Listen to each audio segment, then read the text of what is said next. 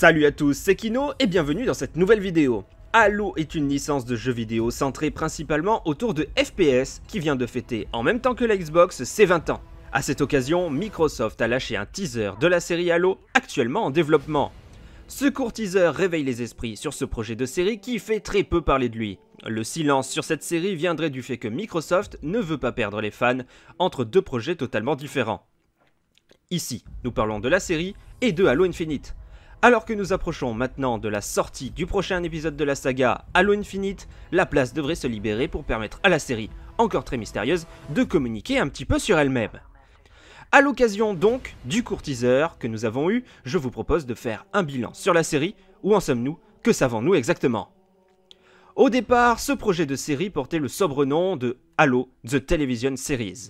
Il a été annoncé la toute première fois en 2013 avec comme producteur Steven Spielberg. Pour autant, il a fallu attendre 5 longues années pour que le projet devienne sérieux. Il est difficile de faire le point exactement sur ce qui a pris autant de temps à lancer le projet, semble-t-il que des accords et des problèmes de droit sont à cause du lancement tardif de la série. Ça nous amène donc à un début concret de projet pour cette série à 2018. Les premières infos arrivent et il semble que le tournage de la série se fasse en Europe, et plus particulièrement en Hongrie. Le groupe Showtime se retrouve alors le diffuseur du projet Halo sous forme de série. On nous annonce alors une saison de 10 épisodes ainsi que le nom de Pablo Schreiber dans le rôle du Master Chief, acteur ayant déjà tourné dans des séries comme Orange in the New Black ou encore American Gods, qualifié d'être un acteur habitué des séries d'action. Nous sommes déjà en 2019 au moment de ces annonces et nous ne sommes absolument au courant de rien de quoi que ce soit par rapport à la série. Un nouveau personnage est évoqué, Yirin A, qui serait une adolescente des colonies extérieures et nous apprenons que le personnage du Master Chief doit avoir un rôle important dans la série. Un peu plus tard, on parlera de l'intégration du docteur Catherine Halsey à l'histoire qui sera racontée. Halsey est un personnage très important de l'univers Halo, puisqu'elle est à l'origine du Master Chief comme de Cortana, les deux emblèmes historiques de l'univers Halo. Malheureusement, et comme beaucoup de projets, des imprévus sont arrivés. Le réalisateur Rupert Wyatt quitte la série pour des raisons d'emploi du temps. Un nouveau réalisateur fut alors trouvé en la personne de Otto Bathurst, réalisateur britannique, qui a produit plusieurs travaux reconnus pour la télévision, comme Criminal Justice en 2009 ou Peaky Blinders en 2014, pour lesquels il a gagné des prix. On le retrouve aussi notamment dans Black Mirror. Il sera épaulé dans sa tâche par Stephen Kane, ayant travaillé sur The Last Ship ou The Closer. Les problèmes sont réglés, les choses commencent donc à devenir très sérieuses, des noms apparaissent, des dates et des lieux de tournage. 343 industries semblent investies dans le projet. De nombreuses questions se posent pour autant, des questions épineuses pour les fans, comme par exemple, le visage de Chief sera-t-il montré à la caméra? Chose à laquelle la réponse fut plutôt négative, même si elle ne fut pas entièrement claire. Ce sera un challenge pour l'équipe en charge de la série, mais il garde en tête ce qui est important pour les fans. L'histoire sera annoncée comme nouvelle et non tirée d'un jeu ou d'un livre. Pour autant, l'idée de toucher un public large, et non de cibler uniquement les fans, commence à être évoquée, ayant même pour ambition de devenir le prochain Game of Thrones au niveau de l'impact sur la pop culture. Mais une première annonce vient chambouler les esprits des fans, la série ne serait pas canon.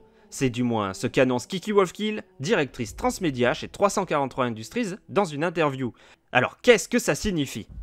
Les fans bondissent et ne comprennent pas, il sera plus tard expliqué que l'idée est de parvenir au meilleur résultat possible, notamment au sujet des acteurs, espérant ainsi éviter les problèmes supplémentaires au niveau du casting.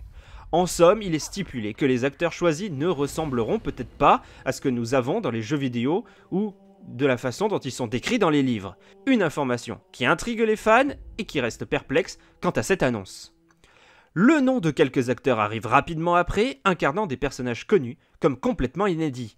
L'amiral Parangoski sera interprété par l'actrice indienne Shabana Azmi, et Bentley Kalu, Natasha Kulzak et Kate Kennedy interpréteront trois Spartans 2. Danny Sapani incarnera Jacob Keys, Olive Gray jouera Miranda Keys, sa fille, et Charlie Murphy sera Maki, une humaine ayant été élevée par des Covenants pour détester l'humanité. Les dires de Kiki Wolfkill prennent donc forme et les fans réagissent, notamment au sujet de Jacob Keys, personnage emblématique sur Halo qui se voit changer d'ethnie. Par la même occasion, on apprend que son histoire est changée puisqu'il aurait été marié avec Halsey, lui ayant donné un enfant, Miranda Keys.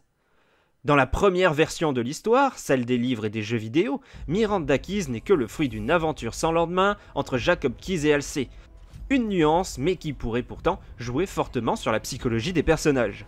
Pour autant, les fans pourront retrouver Jane Taylor, la voix originale de Cortana dans les jeux vidéo, qui reprendra son rôle dans la série.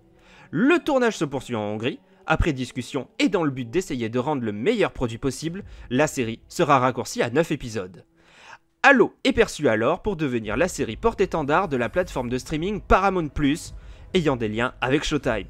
Et enfin, en novembre 2021, on nous offre un court teaser d'une vingtaine de secondes où l'on voit le Major mettre son casque. Il est difficile de savoir de quoi va traiter la série, surtout si l'histoire est inédite. Le plus gros doute subsiste encore au niveau de la timeline, puisque même à ce sujet, nous ne savons pas et nous ne sommes pas sûrs de savoir quand se situe l'histoire. Surtout si Cortana participe à l'aventure. Nous connaissons une très grande partie de la vie de Lia et nous avons assisté à sa rencontre avec le Master Chief dans le livre Halo, la chute de Reach. Il ne serait donc pas surprenant de voir de lourdes modifications de ce côté-là de l'histoire. Si vous êtes intéressé, on pourra revenir sur tout ça pour essayer de donner des explications sur ces modifications. Quoi qu'il en soit, une série Halo avec de l'ambition, ça me hype beaucoup. Et sans en attendre quelque chose de particulier, j'espère pouvoir être transporté. Quant aux modifications qu'il pourrait apporter dans le scénario, je fermerai les yeux dessus, bien sûr, s'il y a des raisons évidentes à cela dans la série. Il faut que ce soit justifié au mieux, voire que ce changement prenne une place importante dans l'histoire de Halo, et non que ce soit juste pour leur petit plaisir personnel. Par exemple, et parce que je sais très bien que ça va encore vivement faire réagir dans les commentaires, si l'acteur de Jacob Keys ne lui correspond pas, mais qu'il me scotche particulièrement par son jeu d'acteur, je n'aurais rien à dire, je comprendrai le choix. Même chose pour sa relation qui changerait avec LC, si cette relation nourrit l'histoire, il n'y aura aucun problème pour moi. Mais si c'est seulement pour essayer de renvoyer une pseudo-bonne image d'une relation de couple avec enfant évoquée une fois comme ça et qu'on ne la calcule plus après, ça n'a aucun sens et il mériterait de se faire cracher dessus. Je suis tout à fait d'accord. Ouais, je rigole, je rigole. Après tout, aujourd'hui, plus que jamais, avec Marvel, les univers parallèles, on connaît bien. Alors attendons de voir ce qu'il en est. Je suis très très très très impatient de voir ça, infiniment plus que pour la campagne de Halo Infinite. Je reviendrai vers vous dès qu'on aura la moindre petite news sur la série. J'espère que ça va très vite arriver. En attendant, je vous dis à très vite et vive Halo